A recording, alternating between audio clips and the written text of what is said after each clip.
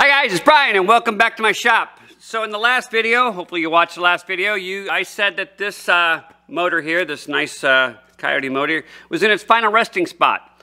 Well, I'm not 100% sure about that. I wasn't 100% sure about it when I said it, but um, that would mean a lot more fabrication work. So for right now, uh, I'm going to leave it where it's at. I may end up cutting the uh, subframe uh, either out completely or cutting some uh, reliefs in it and then rewelding it back up. So instead of creating the motor mount positions, um, because those may end up becoming lower, um, I'll go ahead and leave it where it stands right now. The reason why I would like to bring it a little bit lower is for twofold. One is to get the center of gravity uh, obvious low, as low as possible, so get this uh, oil pan really to the very, very bottom edge of the frame rail itself, as well as to remove some of the angle that's in the CV joints. Just as a reminder, they're about 13 degrees right now. The maximum those CV joints are, are running at, or should run at, is 25 degrees.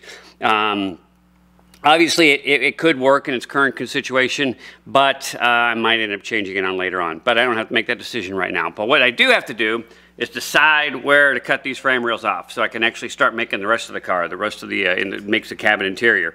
So this is basically where the firewall is going to live. Um, I've got to actually just do some quick calculations. What I want to be able to do is get a wrench in here, be able to, you know, remove anything should I need to for serviceability. Um, so uh, what I'm going to do is put a piece of plywood right up here and well, you know what? Let's just skip to it and go ahead and get the plywood cut and get a piece right up here and see where, where we need to cut these things. Okay, so we've got the firewall in place, and I really like to use flammable material when I'm making my firewall. That way, if anything does catch on fire in the engine bay, this will go up uh, really quickly, so you don't even have to wait a lot of time.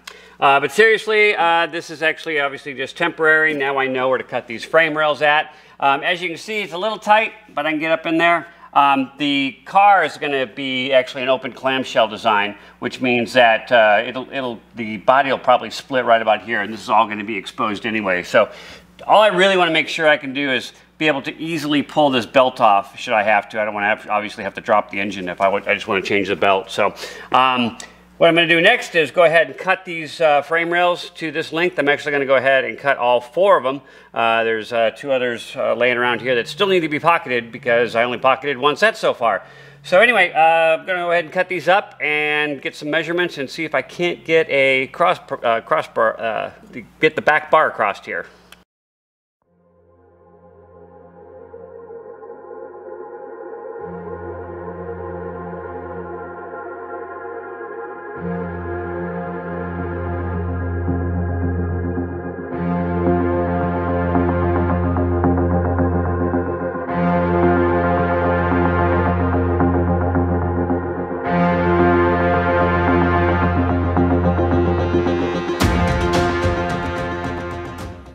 So that's a big difference now that the frame rail's uh, cut off. I actually cut the front and the back as you saw from the video.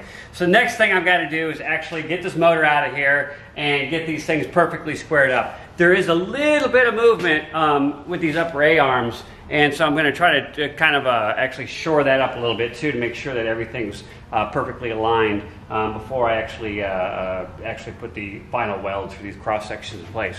Um, I did say I was going to cut the all four, but I actually just cut the two. I'm going to pocket and cut the other two over the weekend. So anyway, um, let's uh, go ahead and get this thing welded up.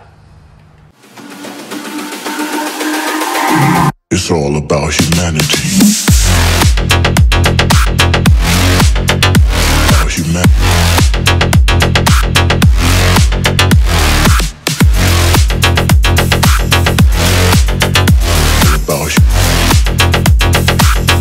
It's all about humanity.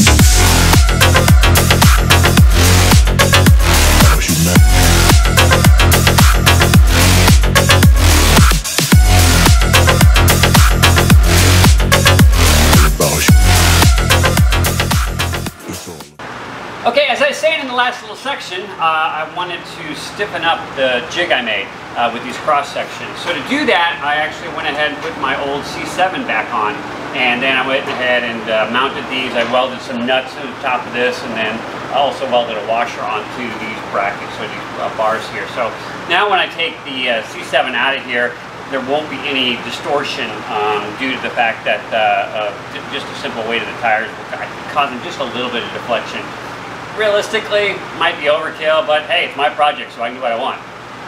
So now I've got to go ahead and start taking this apart and getting the uh, my actual frame rails up here so I can uh, get the sections, uh, the uh, cross links measured up and get those welded in.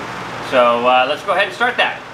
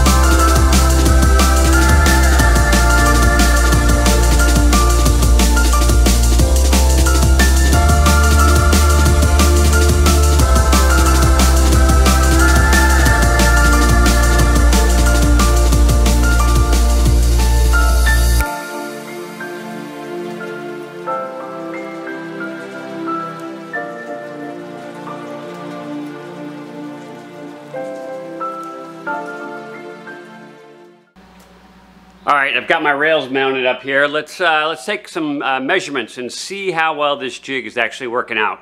So we'll first do the front here.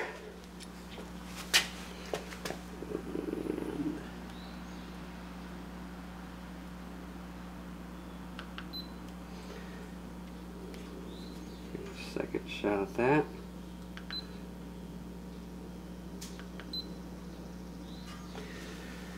All right, so that's at 33 and 5 eighths.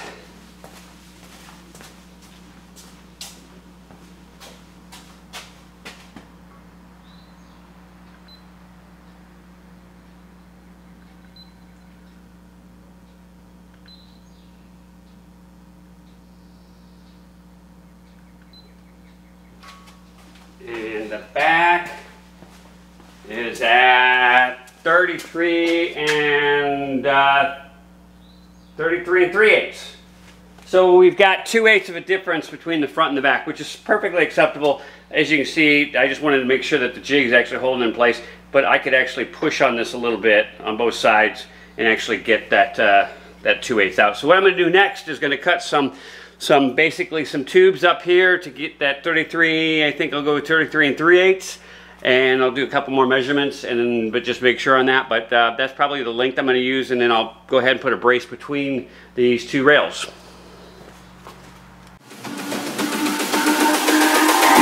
It's all about humanity. About humanity.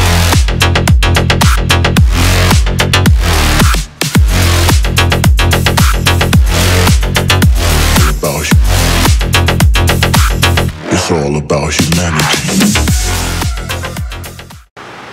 All right, so I've got the beams cut. It's a little hard to see the back one back there, but it is there. Trust me on that. So the front one here is five feet two inches. That's roughly the size uh, of a Lamborghini Gallardo from the from the width.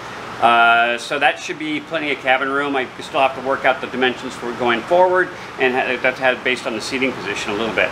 Uh, the rear is just a five foot beam going across, and that's probably going to end up getting modified over time. I am going to go ahead and weld it in all the way, but I do know I'm going to probably end up having to cut off maybe the ends because I'm going to actually have to make room for the radiators or, or stuff like that anyway. So. Um, what I really need to do now though is before I weld these things in is to make sure they are perfectly level, straight, true, all that kind of lovely stuff. So I'm using this Digi-Pas level. This is the one, um, it's very, very accurate. Uh, I, I bought this specifically for my five axis CNC machine. So when I set that up, I wanted to make sure I was uh, within a millimeter of tolerance of cutting that foam. So this is uh, accurate to 0.01, I think. If I remember right, I got to turn it on and find out, but it's super accurate.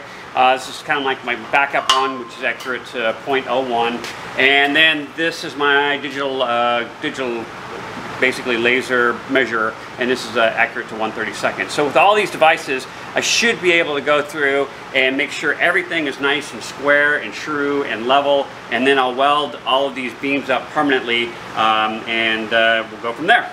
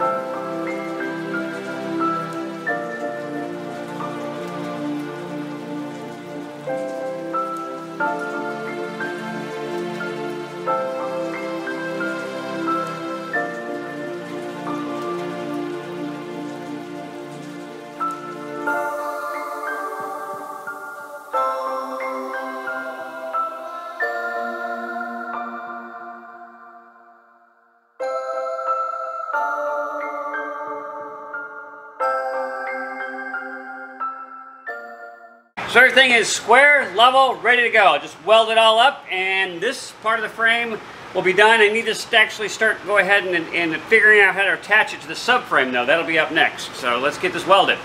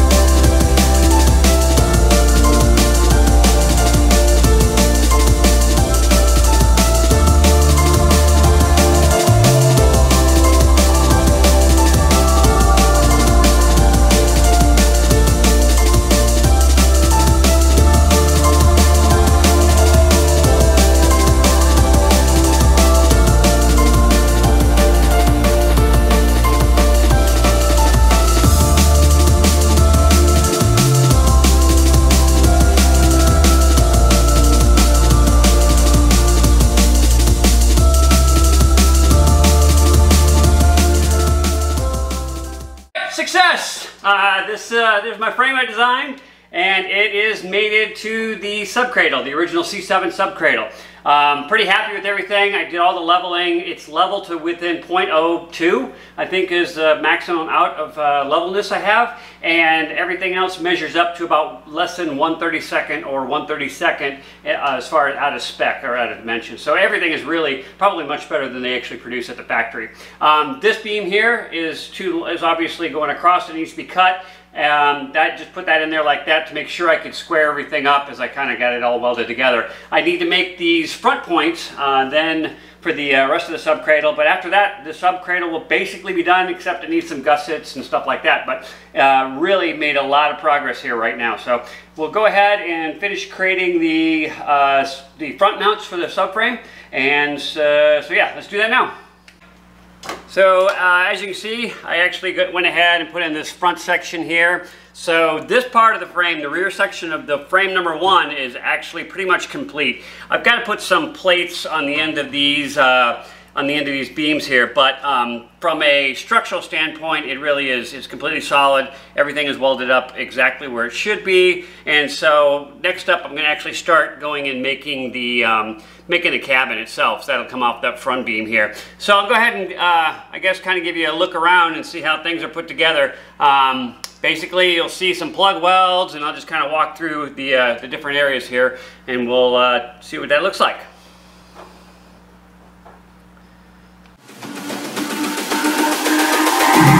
It's all about humanity. About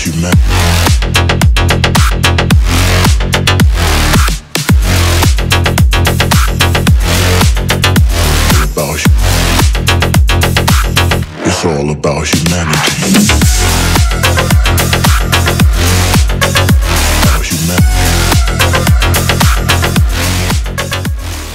So that's going to wrap it up for this episode. If you're new to my channel and just stumbled across this episode, please consider subscribing and also uh, kind of click that notification so you know when I got a new video posted.